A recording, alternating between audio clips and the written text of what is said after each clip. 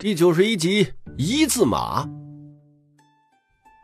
许公子，面对这个陌生的称呼，魏渊等人本能的在司天监的内部名单中搜寻，在监正现存的五位亲传弟子中搜寻。哎，不对啊，这位白衣说的是许公子，而非是许师兄。开堂讲课的不是司天监的弟子。是个外人，姓许，莫非是？长公主妙目闪烁，心里有一个胆大的猜测，她迫不及待的想去验证。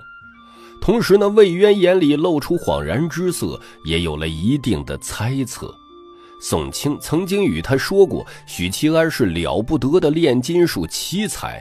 魏渊当时并没有太在意，毕竟宋清是司天监炼金术第一人，他口中的奇才，可能只是拥有出色的炼金天赋，断然无法与炼金术第一人比肩，甚至被称为巫师。魏渊看了两位义子一眼，他们脸庞、眼中有着同样的困惑和茫然，显然没有把许公子和许七安联系在一起。当日宋清说的话，两人也忘了。义父，司天监什么时候出了一个姓许的？南宫倩柔掌管情报刑讯，对这种突然出现的人物极为敏感，不喜欢说话的杨艳微微侧头看向魏渊，带着求证的眼神。两位金罗虽然忘记了当日宋清对许七安的评价，但前日江律中的话，他们还记得。魏渊笑了笑，哈哈，上楼一看便知。张公主已经提着裙摆，娉娉婷婷的登楼。她身材高挑，比例极好，仅是背影就给人无限的美好，不需要看正脸便知道是个风华绝代的美人。炼金术的本质是等价交换。聪明的白衣术师们用许七安的话回答他的问题。从事物中提取出精华，变废为宝。也有炼金术师根据自己的经验给出回答。六品以下的术士没有回答，专心听讲。六品的炼金术师纷纷发言，给出自己的认解。大多都是片面的，根据自己经验给的答案。至于套用我名言的家伙，是只知其一不知其二。哼 司天剑的理论知识确实匮乏。许七安耐心听着，没有赞同，也没反对。白衣们发表完毕，齐刷刷的看向了宋清。宋清是监正的亲传弟子，也是司天剑公认的炼金术第一人。他沉浸在炼金术领域不肯晋升，只对炼金术着迷，对高品境界不屑一顾。其他四品、五品的师兄在炼金术领域都不如他。宋清摇了摇头，叹口气：“宋师兄这是什么意思呀？”白衣术士们心里疑惑时，听见许七安拍了拍手掌，众人当即把注意力投向了这位炼金术奇才。许七安迎着大伙的目光：“整个司天剑在炼金术领域，唯有宋师兄让我敬佩，是为可以比肩的高人。”四天监的白衣们肃然起敬，宋清微微一笑，悄悄的挺直了腰杆。许清安继续说：“宋师兄的意思其实是说，在座诸位说的都对，但不全面，所以都不算对。”众人露出思考的表情。许清安呢，侃侃而谈：“炼金术是一个非常宽广的领域，在座的诸位可能心里多少明白一些，但都比较模糊和笼统。嗯，本来呢。”我只答应宋清师兄传授一门知识给你们，结果宋清师兄非要我连本带利的还，那我就多讲一点，讲广一点，透彻一点。这话说完，白衣术士们眼神刹那间火热起来。谢宋师兄，谢许公子。许公子，快开始吧，我已经迫不及待了。声浪一下子嘈杂起来，正好传到了登上七楼的长公主耳朵里。他顿住了脚步，没有立刻进去，而是远远的、隐蔽的，看着那个站在案前，朝着一向高傲的术士们指点江山激昂文字的年轻男人。许七安，果然是他。魏渊同步顿住，看见许七安后，表情顿了顿，便恢复如初。魏渊停下脚步的同时，气质阴柔的南宫倩柔和面瘫的杨艳，也越过长公主和魏渊的肩膀，隐约的看见了许七安。原来江律中说的都是实话。杨艳盯着许七安看了片刻，微不可察的颔首。这个铜锣只能在我麾下，谁都别想抢。南宫倩柔本来想直接进去旁听，看这小子能说出个什么子丑寅卯。但是察觉到长公主和义父都没有打扰的意思，便忍了下来，原地不动。炼金术的本质是等价交换，这是提纲挈领的准则，但他并不形象。只有宋清师兄这样的炼金术师，才能体悟到这句话的真意。今天由浅入深，诸位听我慢慢阐述。提到炼金术。外行人下意识的就想到仙丹药剂，稍懂一些的脑海里浮现的肯定是这个。许清安说到这里，指着楚采薇青丝间的简约首饰，金属。白衣术士们微微的颔首。我要告诉你们的是，这只是炼金术的其中两个领域，我把它们归类为医学领域、材料领域。大部分的炼金术师都只在这两个领域里钻研，偶尔会蹦到其他领域，但唯独宋师兄，他的目光已经在另一个独立的领域里。白衣术士们顿时看向宋清，宋清一怔，像是找到了知己，眼神骤然火热。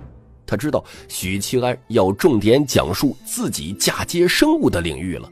也许这一次的讲课也会是他踏入全新炼金领域的重要一步。想到这儿呢，宋清呼吸急促了起来。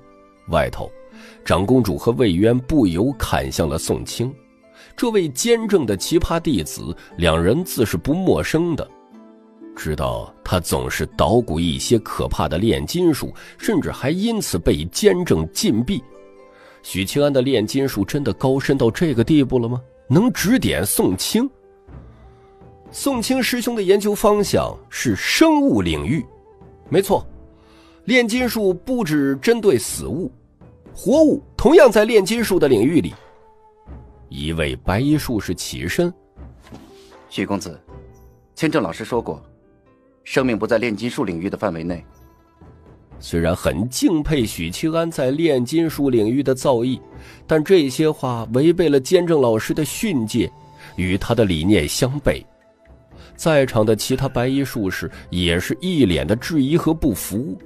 长公主扭头用咨询的目光看向魏渊，后者笑了笑：“呃，呃，我与监正的看法一致。”长公主点点头，重新看向许七安。且看他怎么说。那是因为宋清师兄的方法是错的，所以监正大人批评了他，但他的方向没有错。他当然不会和监正抬杠，即便他辩论赢了，可万一监正老头不开心，哄不好一巴掌把他给拍死，找谁哭去呀？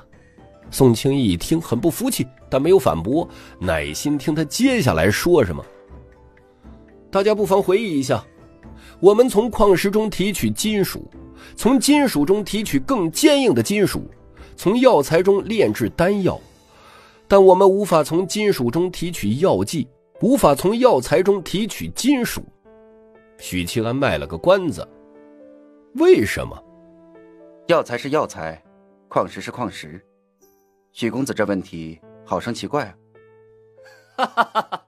药材中能提炼金属，我们岂不是能在白米饭中提取金银？在白衣术士们看来，许七安的这个问题就仿佛是在问：为什么太阳从东边升起？为什么人不吃饭就要饿死？为什么一天有十二个时辰？白衣术士们交头接耳，但宋清隐约间触摸到了什么。白衣师弟们吵得他脑子乱糟糟的，无法静下心来。啪的一声，宋清一拍桌子，起身：“宋清！”吼完，他面红耳赤。呼吸急促，死死的盯着许七安。你说，快说！白衣术士们不说话了，他们极少见到这样的宋师兄，同时也意识到许七安说的是真正高深的炼金术知识。许七安目光越过白衣们，隔着老远就看到了魏渊，心里一沉：“我勒个去啊！装叉正起劲的时候，被领导给围观了。”许七安本能的产生抵触心理，哼，这是一种心虚。司天剑的术士们，好比一群严谨的理科宅男，他们只关注炼金术本身，不会在乎炼金术的来历，即使觉得可疑，也会自动忽略。只要能学习到深奥的炼金术，他们便不在乎其他。魏渊不同，魏渊是政治家、军事家、战略家，头顶光环一大堆的聪明人，聪明人就容易想太多。许七安对白衣术士的策略是人前显圣，装的过于浮夸越好；而对魏渊的策略是表忠心，是在合理的范围内装个无伤大雅的小叉。眼下的情况显然不是小小的装叉，而是直接一字马了。这时呢，魏渊朝许清安微微颔首：“，换个角度想。”在领导面前展现自身价值，也是一种博取关注、增加筹码的有效方式啊！许清安深吸一口气，摒除杂念，让重心回到了课堂上。第九十二集：坚正的礼物。这就是我本次开堂讲课要与大家说的重点。许清安深谙断章精髓，说到这里，特意顿了顿，微笑的面对白衣术士们求知欲旺盛的目光，眼角余光瞥了一下门外，看见魏渊注视着自己，看见魏渊身边那位倾国倾城的美人注视着自己。她是谁啊？竟生得如此美貌？嗯，万物之中，存在一些非常细微的物质。这些物质构成了我们眼中的万千世界，这些物质之间是有联系、有规律的。用最简单的例子解释：一枚丹药需要十几味、几十味药材炼制，但各个药材之间明明功效都不同，为什么？因为某些药材之间的细微物质特性相近，所以它们能彼此反应、融合。提炼金属呢，也是同样的道理。许清安尽可能的用通俗易懂的措辞来表达，没有使用原子之类的化学名词，那样只会增加炼金术士们的理解难度。在场术士眼神里闪烁着兴奋，因为他们无比清楚这些知识的宝贵。不仅他们，外头的长公主和魏渊两人都是才高八斗、学富五车之辈。越是深奥晦涩的知识，他们越感兴趣，也意识到许七安讲的内容在炼金术的领域是非常高端的秘术。身份高贵的公主和大宦官就这样站着，耐心听着。那本残缺的炼金秘籍里记载了一个细微物质相近特性的口诀，我把这部口诀称为“元素周期表”。一瞬间。急促的呼吸声在大厅里回荡，司天剑的白衣们狠狠的握紧拳头，激动狂喜。我知道了，我知道了。宋清恍然大悟，他神色激动的站起身，盯着许七安，仿佛在求证。我的活物炼金术之所以失败，是因为他们之间没有相近特性。对呀，对呀。猫和树怎么可能会有相近特性？根本就是完全不同的两种东西啊！哦，你这么理解倒也勉强合理。宋师兄不愧是炼金术的奇才，领悟能力出众啊！这是真话。宋清皱了皱眉：“我虽明白了你的道理，但活物间的相近特性又如何验证？”活物炼金术的正确方向究竟在哪里？问得好啊！我就等着这时候掰直你。许清安双手背负，站姿如松，宛如开宗立派的大儒。活物炼金术的方向是细胞。细胞？宋清愕然，又是一个从未听过的陌生的词儿。对啊，细胞。不过在此之前，你得考虑做一个显微镜什么的，我也不太懂。反正不关我事儿。成功是我教导的好，不成功是你资质愚钝的。许七安从怀里取出一本册子，这是我送给司天剑第二本蓝皮书，里面记载了元素周期表的口诀，我的个人注解，也有宋清师兄活物炼金术的正确方向，都在里边了。宋清迫不及待地冲过来，夺过册子，如饥似渴地翻看。开篇第一句：“细胞是一个生命的开始。”哈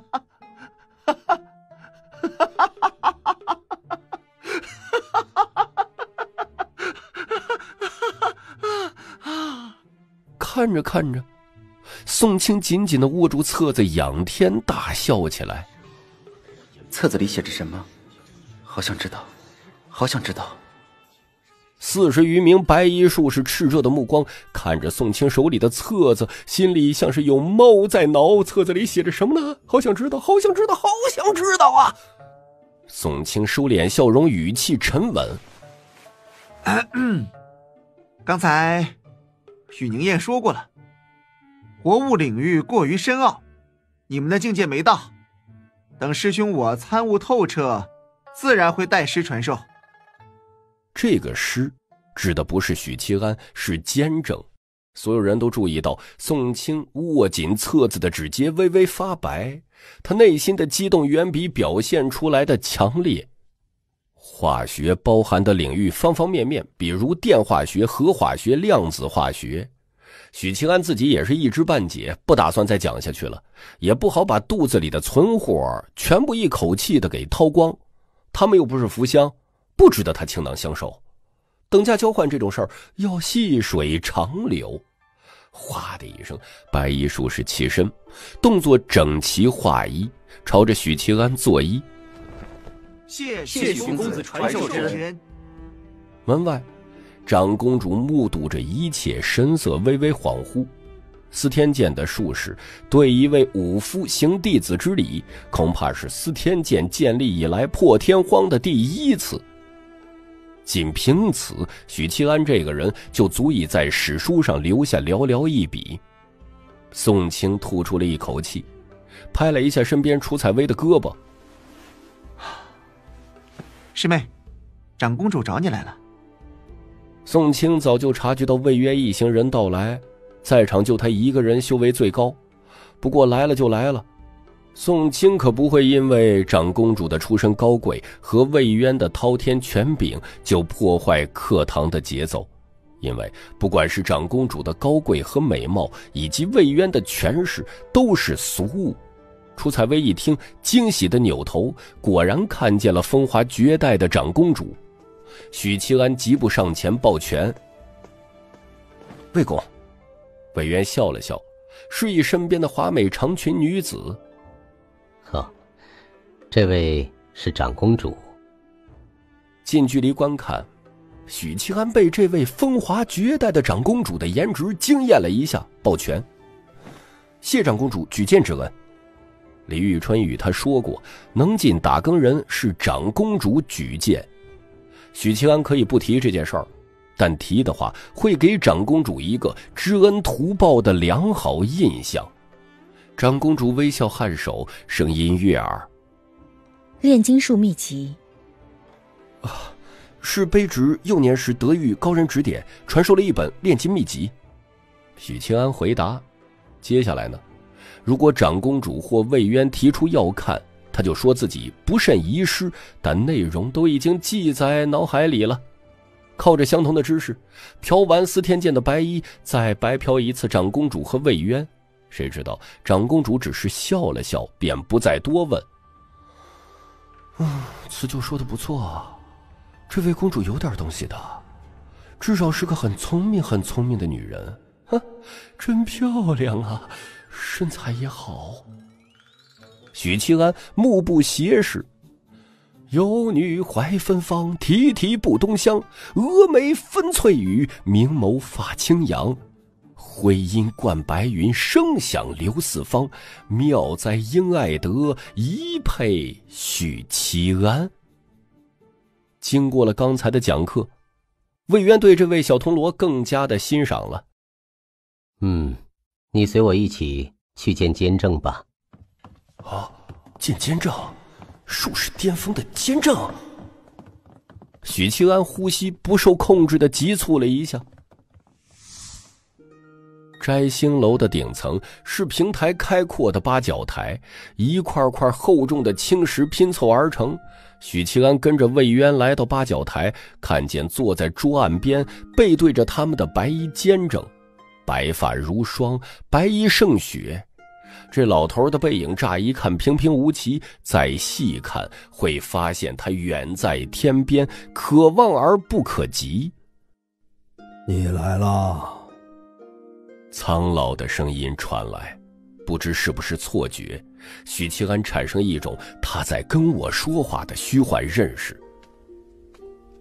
我来了。鬓角霜白的魏渊走到八角台边缘，位置正好与监正平肩。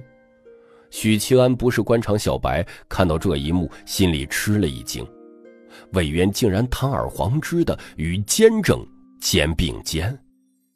许久没有下棋了，监正大人，可否陪魏某手谈一局？监正没有说话，挥了挥手，案上凭空出现棋盘，两盒棋子。魏渊笑了起来，甩开青衣下摆，与监正相对而坐。哈哈哈，监正大人这段时间可有在专心看人间？魏渊落子，顺势打开话题。年老昏花，看不清了。监正说道，随之落子。两人半天没说话，专心下棋。地宗到手，入魔了。物极必反，功德成仙，岂有那么简单？魏某收到消息，有万妖国余孽潜伏在京城。都是小角色。魏渊闻言，放心的点了点头，又下了一阵儿。魏渊语气随意的说了一句：“没记错的话，仁宗是十九年前搬来皇城，之后陛下苦求仙道，天地人三宗不予理睬。”监正沉默不语。最近万妖国余孽在京城周边有所行动，再过三天。便是陛下祭祖的日子，监正可要好好看着京城。云州匪患越来越严重了，陛下无心剿匪，让人忧心啊。睡隐案幕后的炼金术师，监正可有看法？两人落子越来越快，越来越快，最后几乎连思考的时间都不需要了。直到黑白棋子布满了整个棋盘。平局，监正挥了挥手，让棋盘消失，抬起了沟壑纵横的苍老脸庞，凝视着魏源。当日你修武道，我曾预言大凤将出一位二品，可你最后自废了修为。没意思，为何不走儒道？与白鹿书院的读书人凑不到一起。无趣。二十五年前，本座问你，可愿做我弟子？魏某无心术士。监正默然片刻。精彩绝伦。小友替我教导学生，我也赠小友一份礼物。第九十三集，嗯，三号不愧是读书人，还有这种好事儿？许清安一脸愕然，心说：“监正大人，您不会也掏出一面镜子，然后跟我说是兄弟就加入天地会吧？”他还在愣神间，忽听耳边传来破空声，望向楼梯方向。一黑一金两块铁坨子急射而来，呼啸着掠过两位金罗和许七安之间，飞向监正。两块铁坨子在飞行的过程中融化，变成明艳艳的铁浆，泼水似的泼向监正。两股铁浆交融在一起，勾勒出长刀的轮廓。蒙蒙水汽凭空诞生，硬核淬火。等落到监正手里时，已经是一柄长刀的刀胚。监正握住刀胚，另一只手在刀身一抹，一柄暗金色的长刀变成了。刀身色泽内敛，刀锋锐利。监正屈指一弹，这口刀胚飞旋着落在许七安面前，切豆腐一般切进了青石板。不用刀的两位金罗。盯着这口暗金色长刀，目光火热。许七安的三观受到了强烈冲击。这是炼金术，这明明是魔法呀！炼金术不应该是在瓶瓶罐罐里提取分离物质吗？许七安三观受到了强烈冲击，震惊之余，许七安意识到监正露这一手，仅仅是赠送礼物而已。不。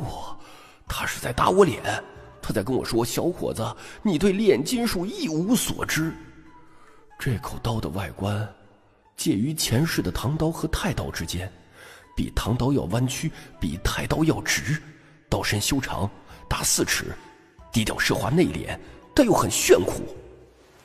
还不谢过监正？谢监正大人。按耐住内心的喜悦。许七安脱下袍子，裹住刀身，提在手里。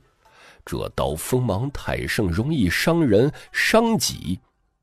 有了这把刀，我的战力至少上升一个台阶。不不不，两个台阶。许七安暗暗兴奋。魏渊朝监正作揖，领着三个手下离开司天监。下楼时，许清安遇到了楚采薇和长公主登楼，似乎要上八卦台。在魏渊和长公主等人的注视下，他拉着楚采薇的下手，噔噔噔的走向一旁。许清安提出约会邀请：“晚上有空吗？我请你去桂月楼吃饭。”谁知道吃货楚采薇一口拒绝：“晚些时候要入皇城，今儿歇在长公主府上。”长公主府里有吃不完的糕点和佳肴。桂月楼的饭菜虽然好吃，可怎么能与皇城的厨子相提并论呢？哦，这样啊。明后两天要值夜，大后天是皇帝祭祖的日子，大更人要负责安保工作。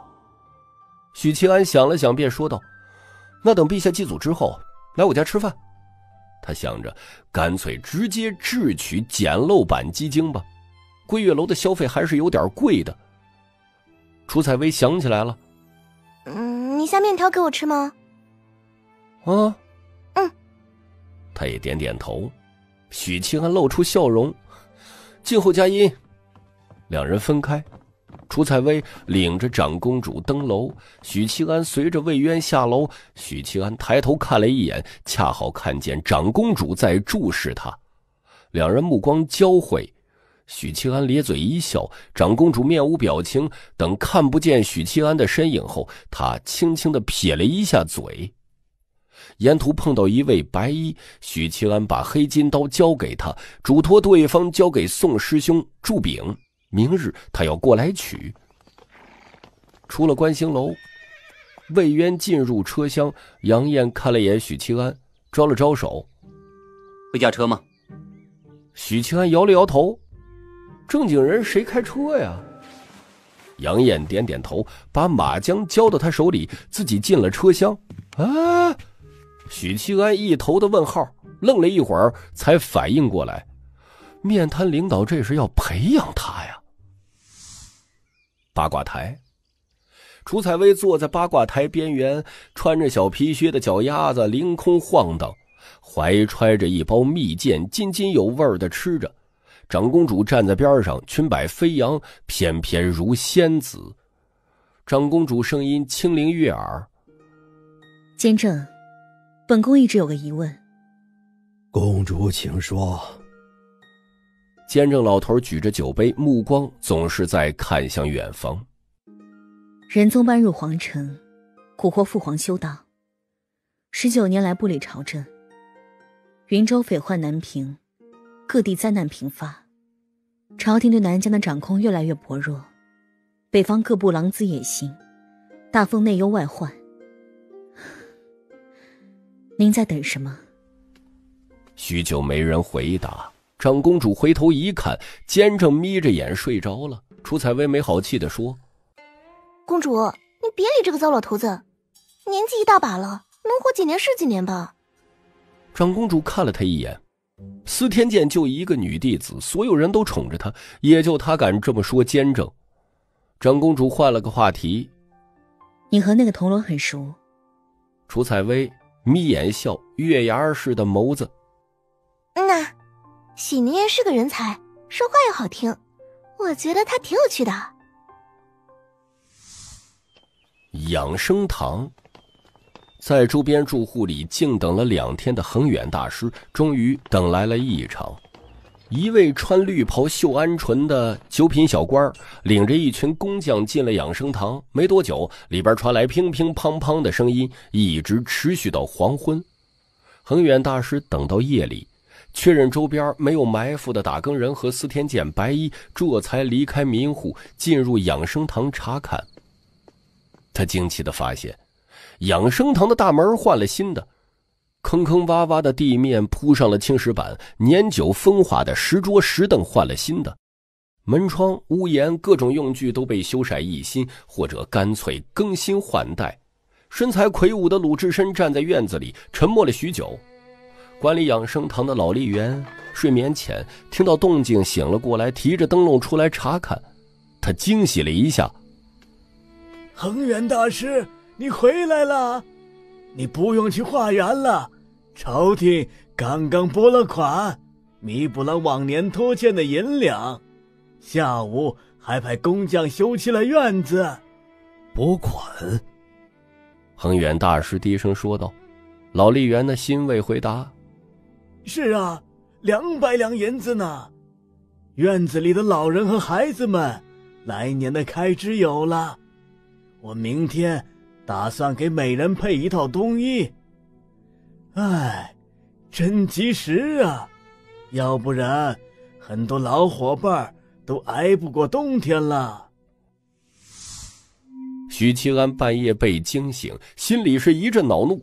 心说：“你大爷的，哪个神经病大半夜的水群呢？”他抽出枕头底下的镜子，走到桌边，点亮蜡烛，看了一眼信息：“一号、三号，你们是不是发现我的藏身之地了？”死光头，你大半夜的不睡觉，吵什么吵？二号脾气很大，似乎也被吵醒了。发生了什么？金莲道长冒泡了，提醒天地会成员六号肯定是遇到什么事儿了。一号没有说话，应该又在窥屏。许清安摸不清状况，同样没有开口。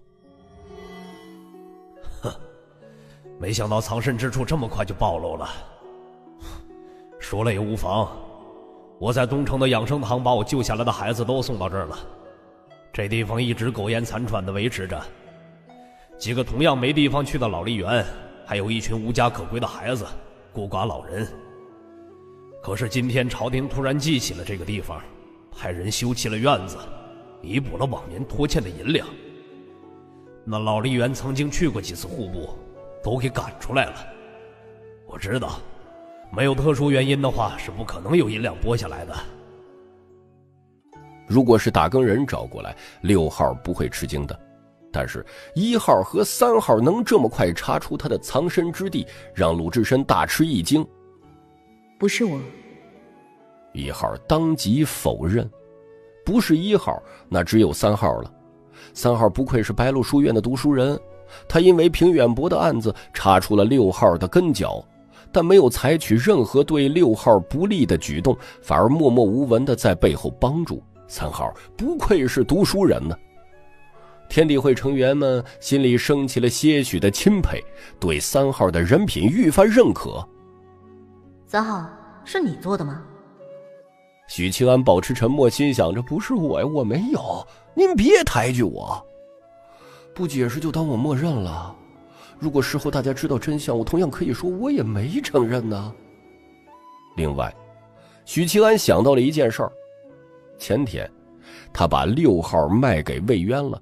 以魏渊的手段，根据他提供的线索，要查出六号的位置并不难。六号救了那么多孩子，如何安置？换成许七安，第一选择肯定是查京城各处的养生堂。再根据六号的说法，除了魏渊，谁能使唤得动朝廷的人呢？当然，一号也有这个能耐，但他刚才否认了。查出了杀死平远伯的凶手，却没有缉拿，反而弥补了拖欠养生堂的银两，遣人修葺了院子。魏渊，昏暗的烛光里，许七安低声说道。第九十四集凶杀案。早起的许七安刚来到后厅，就听见许灵音吵吵嚷嚷的声音。他光洁白嫩的小脸上冒了一颗红艳艳的痘痘，按一下就很疼。婶婶骗他说这是脸蛋子上长了虫子，虫子在吃他的肉，明天他就毁容了，将来也嫁不出去。许灵音不在乎自己能不能嫁出去，但她一直觉得自己是可爱的小孩，将来会和母亲、姐姐一样的漂亮，成为优秀的捣蛋鬼。听母亲这么说呢，她伤心的泫然欲泣。所以说，婶婶也是蔫儿坏的人，连自己的幼女都骗，还洋洋得意，在边上嘲笑。大哥许灵音摇着小屁股跑到大哥面前，一个急刹，侧着脸，短短的指头点着自己的脸颊，瘪着嘴。我我要毁容了。你这不是毁容。许七安摸了摸他的脑瓜，你这是美的冒泡。哦，什么是美的冒泡？就是将来肯定比你娘和你姐姐漂亮。许灵音相信了，很开心。早饭吃了三碗粥。到了打更人衙门，负责日巡的许七安、宋霆锋和朱广孝三人结伴在大街上溜达。你这口刀不错呀。宋霆锋察觉到许七安挂在后腰的佩刀样式变了，许七安单手按刀，拇指一挑，让黑金刀出鞘三寸，又迅速回鞘，笑容得意。司天剑送的。他没说是监正送的，说了也没人信。万一信了，传扬出去，还会惹来觊觎者的目光。法器。宋霆锋和朱广孝眼睛一亮，许清安摇头：“不是法器，没有铭刻阵法，唯一的特点就是硬。这点倒是与许七安很吻合。内城街道宽广，四通八达。许七安买了许多小食，分给两位同僚，边吃边走。”日巡有日巡的好处，除了打更人之外，还有巡城的御刀卫、府衙的捕快等，这让打更人的工作压力减弱许多，可以有时间摸鱼。走累了，进茶馆喝茶听书，也可以勾栏听曲儿。走着走着，许清安脚下踩到了硬疙瘩，他目视前方，几乎没有停顿，弯腰捡起，动作过于自然流畅，表情过于平静。以至于宋霆锋和朱广孝以为他只是做了摸裤管、拍靴子之类平平无奇的动作，没有发现这位新同僚刚才捡了三钱银子。许清安捏着银子提议：“勾栏听曲儿，如何？”宋霆锋和朱广孝迟疑了一下：“好。”三人轻车熟路的进了勾栏，来到二楼的雅间。桌子摆在栏杆边，客人可以一边喝茶吃酒，一边俯瞰大堂舞台的节目。舞台上正进行着一场杂剧。后天是陛下祭祖的日子，你们应该有过几次经验了吧？许七安打开话题，顺带向两位同僚求取经验。我们只要守着桑坡湖边缘就行了。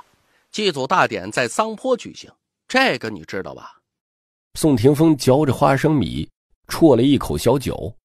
许七安点了点头。桑坡是皇城外的小湖，恰好在京城五卫军营的拱卫之中。打更人的任务很简单，就是维持秩序，保护皇室宗亲的安全。祭祀流程由太常寺和礼部负责，外围的巡逻由御刀卫、金吾卫等皇城禁军。看完一场杂剧，宋廷峰嫌无聊，喊来老鸨，额请打扮花枝招展的一群姑娘就进来了。笑吟吟的站成一排，朝三位贵客抛媚眼。许七安三人身上的打更人制服还是非常唬人的。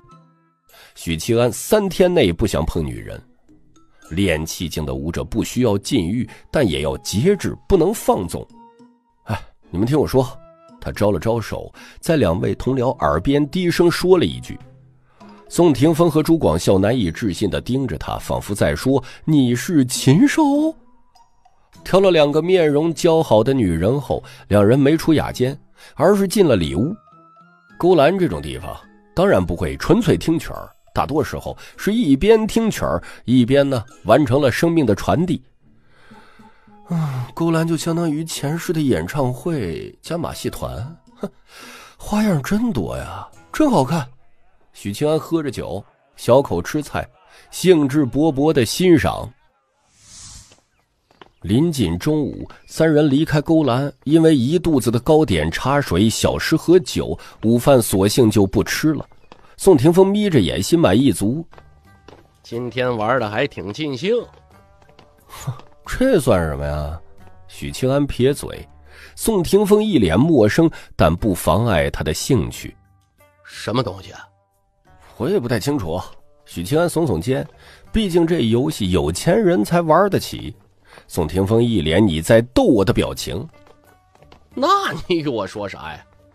许七安无奈，边走边聊。忽然看见前方一队穿工服的府衙捕快，快马加鞭的赶来，为首的是个女子，身材高挑，五官秀丽，眉毛比一般的女子浓，英气勃勃。吕青一眼就看到了三人。毕竟打更人的差服又帅又惹眼，当即勒住马缰，在马匹高高扬起前蹄的长嘶中，声音清越：“许公子，又见面了。两位，别来无恙。”喊他许公子，到我们这儿就是两位，合着我和广孝只是俩没名字的小角儿啊！宋霆锋脸上笑吟吟，双眼眯成了一条缝。多日不见，吕捕头愈发的英姿飒爽。吕青抿嘴一笑，随后想起正事儿，开门见山：“三水街发生了一起命案，也在你们巡查的范围内。既然遇上了，就一起去吧。”有命案？宋霆锋脸色一肃：“行，吕捕头先去，我们后边跟来。”许清安和同僚赶到了三水街，在一处宅院门口看到了府衙捕快拴在路边的马。进入大门，穿过院子，看见几个府衙快手在问话，家中女眷们红着眼圈，哭哭啼啼的。吕青在屋内，不在院中。许清安审视着容貌姣好的女主人：“死者是你丈夫？”女主人瞅见打更人的差服，温顺的点头，一边用手帕抹眼泪。许七安在他玲珑浮凸的身段上扫了一眼，把你儿子喊出来。女主人不懂这位铜锣的想法，遣仆人去了。几分钟后，仆人领着一个十岁左右的孩子出来。还有吗？只有一位独子。女主人把孩子揽在了怀里。是我想多了。许七安放心的点点头，越过众人，与两位同僚进了屋子。这是一间书房，死者就趴在书案上，干涸的鲜血凝固，覆盖半个桌面，出血量很大。仅是看一眼，许七安就估测出对方被割破了喉咙。吕青带着两名府衙的快手，在检查书房的角落、门窗和房梁。有没有什么发现？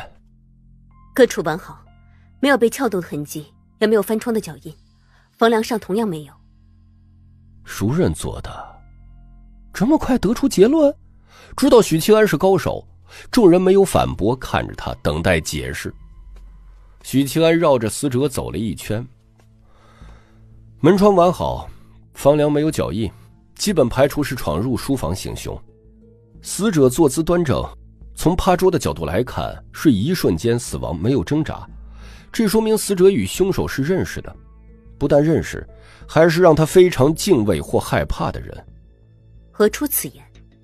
吕青虚心求教。死者应该不是读书人吧？吕青不明白他这么一问的意思。精武卫小奇观。嗯，正常人在家里书房坐着，应该是放松的、惬意的，不应该是这么端正的、一丝不苟的坐姿，除非面对的人让他不得不恭敬对待。另外，死因乍一看是割喉，但我猜真正死因是这里。许七安。抓起死者的头发，把那张惨白的脸抬起。屋里众人看见死者额头有浅浅的凹陷。第九十五集，桑坡。割喉不会当场死亡，凶手手法很利索，没有割喉管，而是直接把侧面的颈动脉给割断了，一看就是老手了。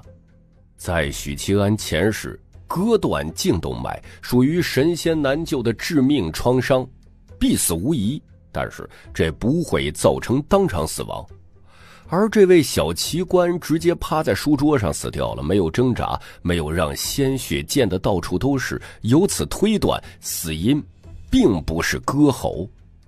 真正让他当场死亡的是大脑受到了致命伤，没有反应的机会，没有挣扎的机会，当场去世。凶手击碎了他的额骨，然后一刀割喉，干脆利落。盯着死者额头处的浅坑，众人脑海里浮现了画面。许七安摸了摸死者的身体，仔细观察后，死后僵直遍及全身，尸斑不在位移。角膜相当的浑浊，死亡时间超过十七个小时，也就是说，凶手是在夜里杀人的。我建议从这几个方面追查：一、府衙近期开的夜行评书；二、询问御刀卫是否在附近遇到可疑人物；三、询问负责夜巡该区域的打更人；四、询问家属死者近期的人际交往状况。半天没人说话。吕青等人愣愣的看着他。这，这就好了，给出方向了。这才多久就做出清晰明确的推理，并以此为基础给案件的侦查指明的方向。尽管知道许七安是破案高手，可众人心里依旧升起太快乐的情绪。吕青想了想，嗯，先让仵作检查一下吧。一般遇到人命案子，捕手们都会带上仵作，先进行初步的检查，这样能更好的结合现场的蛛丝马迹进行推理。仵作给出的结果与许七安的判断差不多，甚至不如后者详细。宋霆锋和朱广孝还好，吕青几个府衙快手对许七安油然而生敬佩之意。可惜了。他已经是大更人，府衙要不过来。吕青在心里惋惜的叹口气。如果这么一个优秀出色的同僚与他缉拿犯人、勘破案件，真是人生一件快事。吕青喊来外面问话的快手，询问他们的问话收获，得出的结论是：死者近期没有与人结仇，昨夜没有客人来访，死者近来精神状态良好。一时没有头绪的吕青眉头紧皱。死者只是一个小奇观，排除了仇杀，那会是什么原因呢？让凶手深夜入宅杀人行凶呢？许七安在他身边轻声说道。吕青有丰富的刑侦经验，闻言眸子一亮，当即喊来死者原配。家里是不是突然多了银子？或者刘汉与你说过些什么？那面容姣好的妇人努力回想了许久。前几天夫君他倒是说过，要带我们离开京城，去外头过潇洒的日子。吕青和许七安相视一眼。具体是多少天前？一旬左右吧。夫人也记不太清楚了。离开院子的路上，吕青沉声说道：“他收受了贿赂，被人灭口了。”许清安点了点头，这是非常合理的推测，他也是这么想的。但是，一个小奇观会因为什么事儿被灭口啊？许清安想了想，像是捕捉到了什么。没记错的话，金吾卫负责内城的东城门和皇城的东城门。这话一出，所有人脸色微变。或许我们应该去见一见刘汉的直属上司，先回衙门上报此事，领了牌票后再登门问话。刘汉的上司是金吾卫百户，虽然都是百户，但金吾卫的地位可比御刀卫要高太多了。后者是单位保安，而前者是领导的保镖。许清安等人要上门问话。得有衙门发的牌票做凭证，类似于上辈子的搜查令。回到打更人衙门，将此事上报给李玉春。春哥非常重视。嗯，此事甚是蹊跷。不过，皇城守备森严，一个小小奇观翻不起什么浪。照例问话便是，金吾卫自己会查。另外，陛下祭祖的日子。马上就到了，我们的重心应该放在这件事上。当即给了牌票，在打更人衙门等了片刻，吕青等府衙的快手风风火火赶来，一行人去了皇城的东门。周百户正带人巡逻，等了一个时辰才回来，得知打更人和府衙找上来，便立刻过来接见。周百户有着浓密的络腮胡、三角眼，满脸横肉，一看就不是好相处的人。周百户，你手底下可有一个叫刘汉的奇官呢？脸色不悦的周百户正要回答，忽然看见其中一位铜锣从怀里摸出一张纸，以气机引燃。下一刻，他的瞳孔染上了一层青光，望气术。周百户不动声色的收敛了眉宇间的暴躁。是，他死了。什么？刘汉最近可有异常？没有。他值守东城门期间，有没有可疑的人和物出入皇城？没有。守卫皇城的士卒众多，单单贿赂一人是没用的，除非贿赂全部，而这是不可能的。如果贿赂你呢？周百户脸色一变，压抑的暴躁再次涌起。你什么意思？只是例行问话，周百户何必动怒啊？陛下祭祖在即，我们也不想关键时候出了岔子。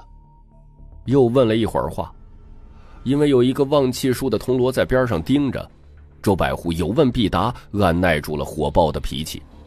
直到许七安的望气术持续时间过去，宋霆锋他笑道：“感谢您的配合，我们先告辞了。”带着吕青等人返回路上，他没说谎。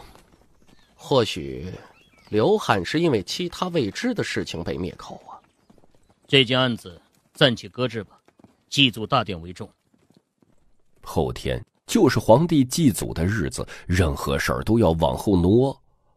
告别吕青等人，许七安在偏厅推敲了整个过程，无果，便将刘汉的事情抛在了一边。庚子年十月十五，甲子日，宜祈福、斋教、祭祀先祖。很快，皇室祭祖的日子来临，许七安对此呢并不陌生。每年的这个时候，内城的城门就会关闭。身为御刀卫百户的二叔，在今天会被调到内城戒严。内城百姓被要求待在家里，不准出门。类似的祭祀，在开春时还有一次，就是祭天，祈求今年风调雨顺、国泰民安。从昨日开始，内城的客栈便被逐一排查。把江湖客通通的赶到外城酒楼歇业，客栈不得留宿。身为打更人的许七安被安排在桑坡，负责站岗。桑坡是一片小湖，紧挨着皇城，湖畔种着一棵棵柳树。这个季节，柳叶还没抽芽。水面搭建着曲折的长廊，连接湖中心的汉白玉高台，台上有一座庙，匾额书写四个鎏金大字：“永镇山河”。祭祖的地点就在这里。桑坡不是普通的湖，它有一段让人津津乐道的历史，与大凤那位开国皇帝有关。相传，桑坡古称玄武湖，湖里住着神兽玄武。有一次，大奉的那位开国皇帝起兵失败，带着残部逃到桑坡时，弹尽粮绝，正绝望之际，湖水沸腾。玄武劈波斩浪而来，他背上插着一柄斩天灭仙的神剑。玄武说：“他在此地等待了数百年，等一位天命之人。”说完，奉上神剑，踏波而去。那位开国皇帝得了神剑，在湖中悟道三年，破关而出，重新集结兵力，从此百战百胜，推翻了腐朽的前朝。统一中原后，大凤便在桑坡建立帝都。桑坡是大凤开国皇帝的正道之地，有着非凡一般的象征意义。因此，大凤皇室每年都会在桑坡举行祭祖大典。湖上的庙里供奉着那位开国皇帝的法像。刘邦还斩白蛇起义呢，也不知道这段传说的水分有多大。许七安眺望着湖中的高台，心里腹诽。